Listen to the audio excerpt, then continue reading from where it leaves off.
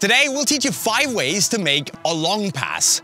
So if you want the technique to be the midfield maestro and find your teammates even with your eyes closed, you should definitely keep watching.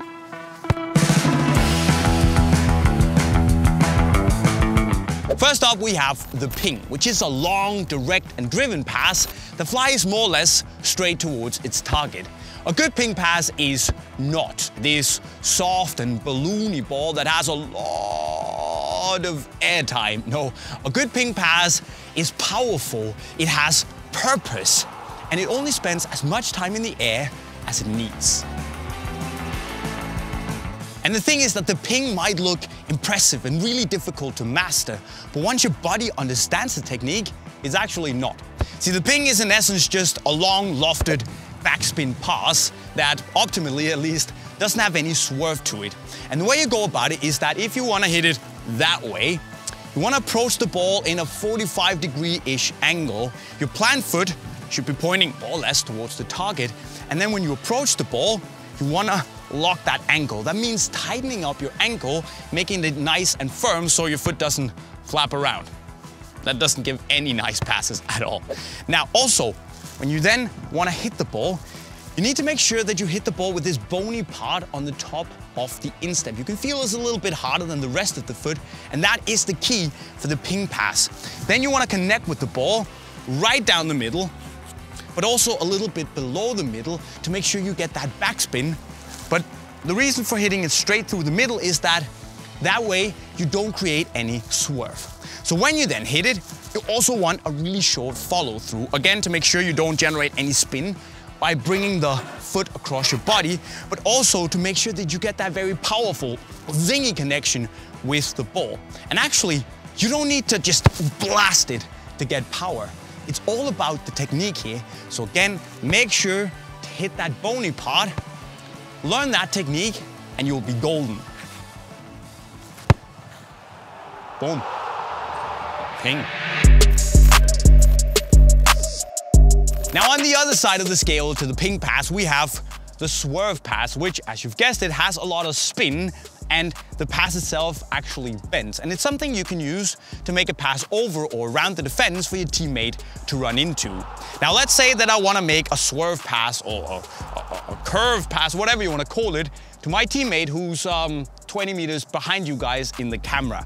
Now then the way I approach the ball, again 45 degree angle, but my plant foot is not straight at you guys. No, it's like 30 degrees away from where I want to hit the ball.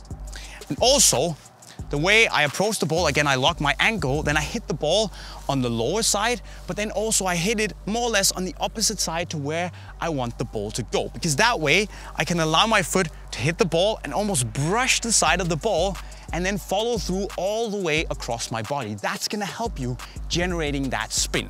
Now that's absolutely vital. You basically just need to do it a lot so you practice the direction, the amount of lift, and of course getting the right amount of spin so your teammates can run right into it.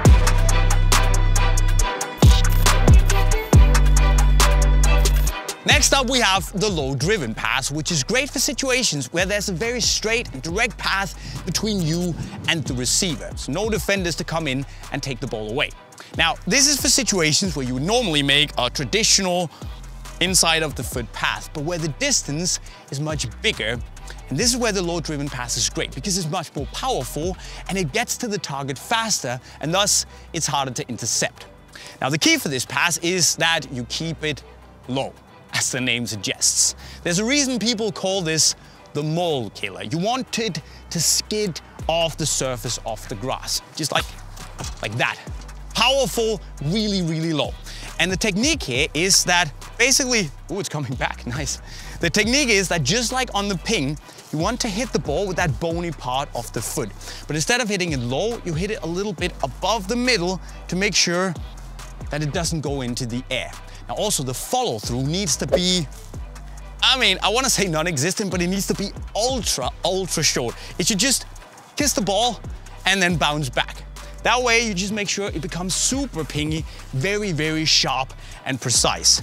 The only thing you shouldn't do is hit the ball too much on top because that way it starts bouncing and it might end up over there somewhere instead of in the goal. Case in point, See? Shouldn't do it that way. Low, driven, not like that crap. The next technique we want to take a look at is the trivela or the banana shot. banana. Basically what Roberto Carlos used to score that free kick in 1997. Now, in essence, this is the exact opposite of the swerve pass because uh, instead of, if I want to pass over there, I could do it with my left, but my left sucks. So I would probably rather go for the Trivela, hitting the ball on the opposite side. Now here, everything comes from this motion of pointing my toes down, bending my foot a little inwards, and then hitting the ball again on the lower middle part, but on the other side of the ball to where I want it to go. Now here the key is to plant your foot a little bit further away so there's room for your foot to come in. Point it inwards, hit the ball, brush the side, and then follow through across your body. And hopefully you will get that banana curve on it and your teammate will run into it. Hopefully. Then we have the side volley, which is great if the ball is coming from the air, you've taken it down on the chest, it's bouncing, and you don't have time to kill it on the ground, take the touch, set yourself up for the ping, none of that stuff. You just wanna play the pass right now. This is where the half volley or the side volley is really, really good. Now, what you need to focus on here is control. The power will come on its own. So control is key here. You wanna hit the ball on the very top part of the foot. And then it's important that you hit it just below the middle. If you hit it too low, you're gonna generate a lot of backspin. It's just gonna go straight up into the air if you kind of slice it from below. Also, don't hit it on the top. You're just gonna hit it down in the ground and that's gonna be a really like, that doesn't really work. I guess. I've never seen it work at least. Now what's also important is your stance. So when you approach the ball, you lean a little bit and if you can try and open your leg up just a little bit, it's easier to get that swing from your foot. Of course, it's difficult. It's about timing, it's about the technique. But remember, focus on the technique, not on the power, and it'll come with training. And actually, that applies to all of the techniques, guys. They're pretty difficult to master, so you need to train a lot, either on your own or with a friend. But you need to train up until that point where the techniques become second nature. They become a natural thing to do for you, where you don't think about them, you just do it. And that's the point where this training will make a difference. You become that long passing master that you want to be, right?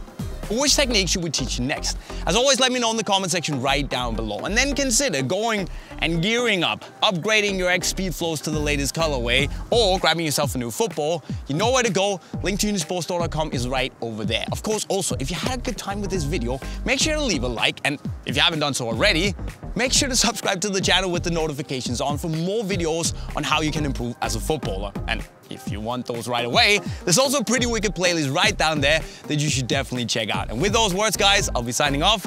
Cheerio.